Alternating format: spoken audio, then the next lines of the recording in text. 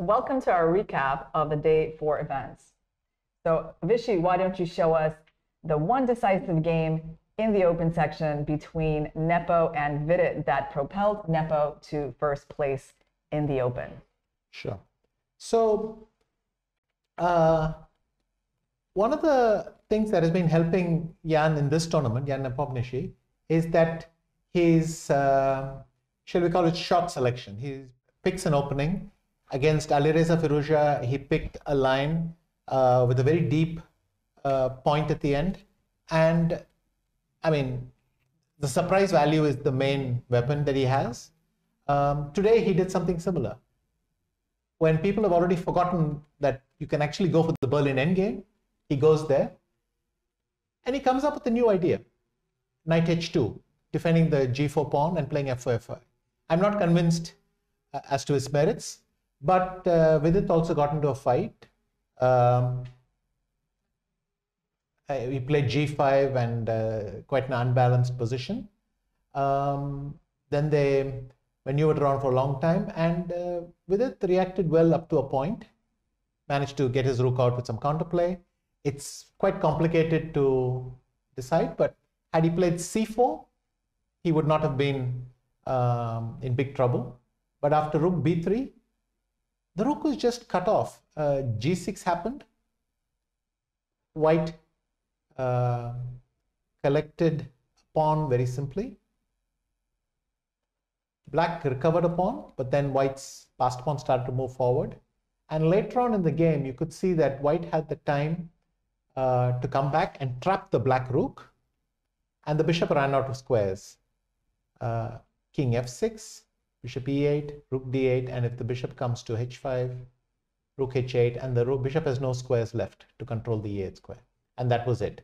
Um, so Jan, I think, is the perfect blend of opportunistic and well prepared, and um, he's showing his uh, class here, uh, and he's leading his third candidates event in a row.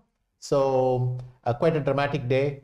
Very tough for Vidit. He's really playing uh, courageously and well, but um, the last two rounds have been quite tough. Hopefully the rest day will be good for him. Yeah, he's been involved in um, very interesting games, three decisive games mm-hmm. in a row. So he's brought a lot of excitement to this tournament. Um, well, we've had a lot of excitement on the women's side today, and we thought we were going to see a lot of decisive games. In the end, uh, we only got one with newcomer Nurgul uh, Salimova defeating Humpy Koneru. So that was a really fascinating opening chosen by Humpy, where she goes knight to e4 and playing in the Dutch style very aggressively. And when we saw her play the move h5, we knew this, this game was going to be really fascinating. But Nurgul reacted well. And even though Humpy had her chances in this complicated position, um, lots of ways to play. Maybe she should have played g5 a little bit faster. But um, here, maybe she should have stopped the knight from coming into b5. Uh, she played bishop d7. This was a strong move by Salimova. Things started to get more difficult for Humpy as her own king was caught in the center. So it wasn't like only she was attacking just because she had the H file. And um, Nurgul continued to play well. They actually both spent a lot of time. So the key moments of their game came when they were in time trouble. Nurgul started to open up the center and came up with this fascinating king walk all the way to E1, where it was surprisingly safe. Structurally, somehow white was better because of these two center pawns. Black's king wasn't that safe either. And when they got to this end game, um, this wasn't a great situation for Humpy because she was losing a pawn right away. And after Nurgul took that pawn, it took her a really long time, but she did capitalize and won this endgame. So um, that is her first win in the candidates tournament, and she gets to a 50% score. Vishy, what was your favorite game in the, uh, well, what was your opinion in terms of like the game between Tan and Lagno? So, um, Katerina Lagno um, challenged Tan Zhongyi's knight off Uh, they maneuvered for a long time. Here I, sup- I suggested this bishop c4 move, but there are others probably. And uh, then actually decided to go for it. It was a very complicated game. Roundabout here, black has compensation probably.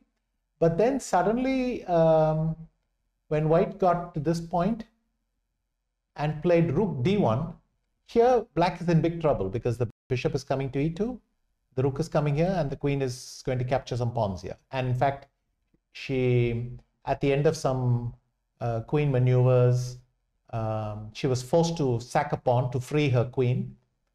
And um, they got here. And after rook c6, as they say, black can resign with a clear conscience. But nobody ever resigns, and therefore you cannot do it with a clear conscience. And we will see why. Um, here, the easiest win is just rook c8, threatening queen e8. And there just seems to be nothing you can do against that. But uh, rook b6, rook d8, still no problem at all. After d6, black's bishop is buried under stone. Um, but a dramatic escape happened in a winning position. And the winning opportunities have been steadily dropping. She went queen f3, queen g6, rook a8, takes, takes, h4. And here, the last chance to win was bishop f2, queen d6 check, king h1. Queen d1, king here, king g7, and I think the simplest is just queen a7. So the queen and bishop connect to stop all um, checks, but uh, Lagno walked right into the trap. After bishop e5, queen e6, because of the threat of check, it's game over. Essentially, uh, the position is now a draw. So a dramatic turnaround, but you have to compliment uh, uh, defense. She's been defending a hopeless position for the last 20 moves, but she resisted as long as she could. And uh, th- that's what makes the difference. In fact, she is leading the tournament outright instead of being one of three leaders because she saved this game. And finally, we have one more very disappointing miss um, from Anna Muzychuk, who had a great chance to capitalize on her rook versus two pawn advantage around here. So she could have won the game in some other ways, but she did reach a clearly winning position. The problem was this win was actually quite hard to find, and these end games with rook versus pawns are so deceptive. You really have to know the typical ideas. And here, Vishy immediately spotted that the rook should be going behind the pawn. And the way that we need to win these pawns is with the king making this unusual march all the way to the h file um, to bypass the black king. And so we don't take any uh, time to take the pawn in f6. We just keep going. And basically, uh, like this, coming from the side. And actually, now black would be in a kind of zigzag because they either have to let our king approach, or you know, if they push the pawn, they lose this one. Um, or you know, if they play king here, King g5. king g5, and then we come from the other side. So um, she had that win. Instead, she gave the wrong uh, kind of, she went with the wrong direction with the rook. She went rook d5, and that allows black to simply march up the pawn. And the best she can do is uh, make black promote that pawn to a knight, because if you promote to a queen, it's checkmate. So you have to promote to a knight with check. But it's not a difficult position for Lei to draw as long as she keeps the king and knight together, which she did. So there were a, bit, a few very big missed opportunities on the ladies' side um, for wins.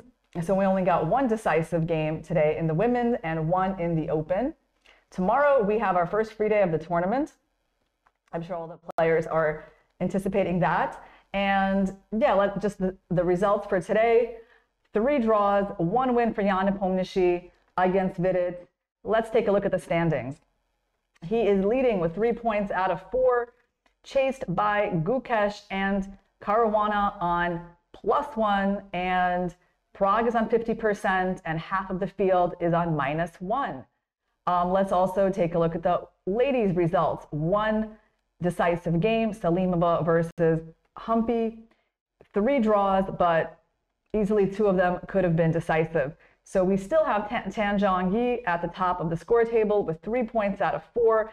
Alexandra Goryachkina at plus one. Lagno, Salimova, and Vaishali at 50%. So two newcomers to the tournament are at 50%. They can be happy with their result.